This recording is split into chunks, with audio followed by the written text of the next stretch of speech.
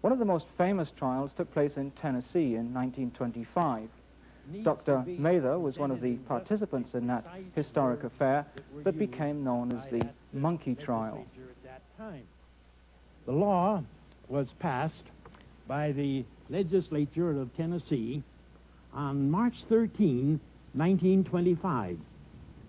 It made it a crime for any teacher in the public schools of Tennessee to teach any theory that denies the story of the divine creation of man as taught in the Bible, and to teach instead that um, man had descended from a lower order of animals.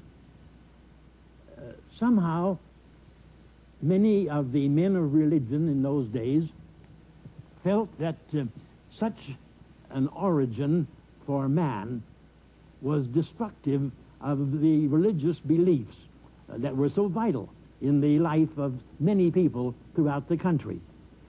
Anyway, they passed the law.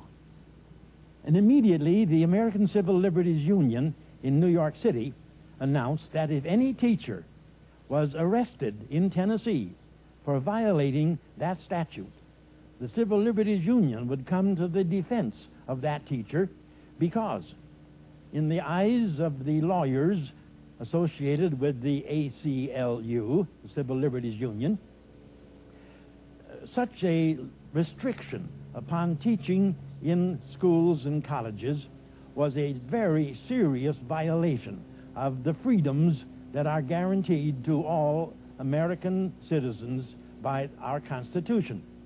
So the Civil Liberties Union announced, and it was publicly spread throughout the papers, that if any teacher in Tennessee was arrested, the Civil Liberties Union would come to the defense.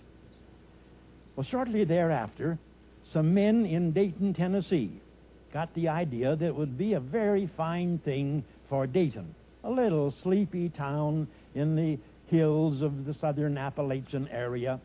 Be a fine idea to have such a uh, trial held in Dayton. It would put Dayton on the map, as uh, George Rappleyea said uh, to um, the uh, chairman of the school committee. Uh, anyway, within a very few days, uh, George Rappleyea and Doc Robinson persuaded a young school teacher, John Scopes, to stand trial for a violation of that statute. John was a little bit reluctant, but when he was assured that uh, all expenses would be paid and no serious consequences would ensue, he said yes. And so he was indicted for violating that statute. This, of course, uh, was broadcast throughout the papers quite generally. Down in uh, Florida, Mr. William Jennings Bryan is still remembered as one of the great silver-tongued orators of his day. I remember I heard him speak myself when I was a student in Denison University in Granville, Ohio.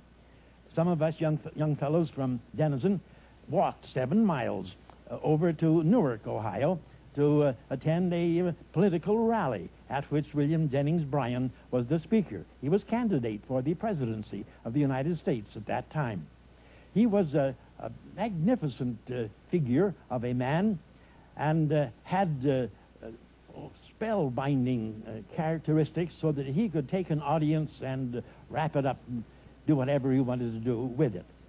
Uh, down in Florida, William Jennings Bryan uh, saw the papers that uh, John Scopes was going to be tried in Dayton, Tennessee. And so Mr. Bryan immediately announced that uh, he would go to Dayton, Tennessee to assist in the prosecution of this young well, I think he characterized him as an atheist, an infidel, or an agnostic, or something of that sort. And of course, what he was doing was undermining the morals of uh, all of the boys and girls in uh, the Dayton High School.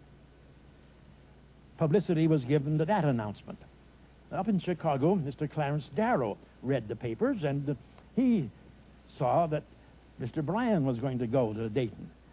Mr. Darrow had been a supporter of Mr. Bryan in his first campaign for the presidency of the United States way back when. But uh, Clarence Darrow thought that Mr. Bryan's religious ideas were absolutely idiotic. And he welcomed the opportunity to cross swords uh, with uh, Mr. Bryan on religious affairs. Well, the thought struck me there in uh, Cambridge, Massachusetts, that somebody ought to be in Dayton to defend a religion that would be respectable in the light of modern science. And I thought I knew what that religion was. So as it worked out, in accordance with uh, Roger Baldwin's instructions, I arrived in uh, Dayton, Tennessee on uh, a Friday afternoon. The trial had been in session just about one week. When I got there, I was met with a very serious surprise. That very morning, Judge Raulston, who was uh, the judge in charge of the whole trial, had ruled that inasmuch as uh, the defense had, uh, had really admitted that uh, John Scopes had been teaching that man was descended from a lower order of animal life, it was unnecessary for anybody to uh, testify concerning the relations between the theory of evolution and the stories of divine creation as uh, told in the Bible.